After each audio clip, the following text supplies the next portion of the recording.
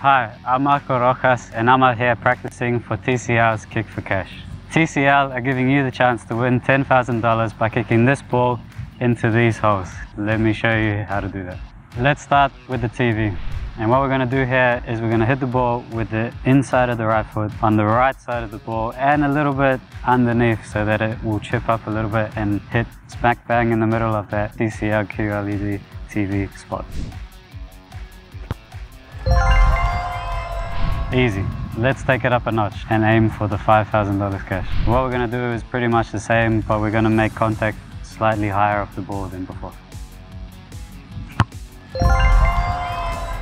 Alright, let's go for the big bucks now.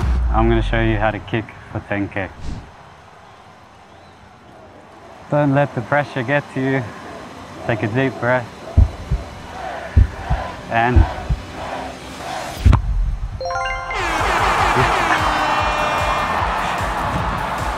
And there you go. If you think you've got what it takes to kick for cash, head to TCL's Australia website and enter for your chance to win.